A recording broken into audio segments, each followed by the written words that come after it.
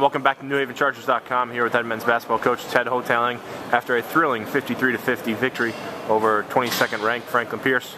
Coach, overall thoughts how the team performed tonight? Survived.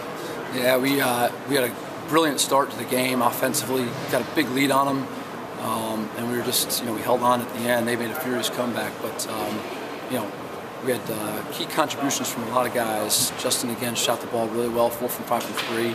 Um, Ashanti pass came in, made four threes. We needed every single one of them. Um, but I think the you know the same model for us has been uh, for our success has been defense. So uh, they're a very good offensive team. We did a great job limiting them in transition.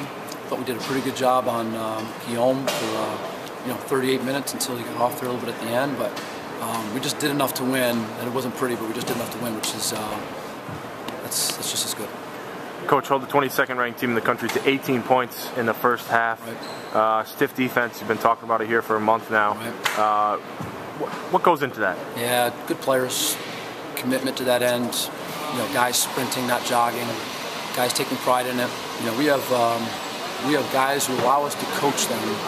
Um, couldn't be happier with the guys I get to coach every day. Um, it's a tribute to them, toughness, competitiveness. You know, um, there's a level of demand that we have for them that they meet and exceed every day. And I think what you see on the floor defensively is just uh, high character guys, good kids that um, allow us to coach them every day. And fortunately, they're, they're good players too.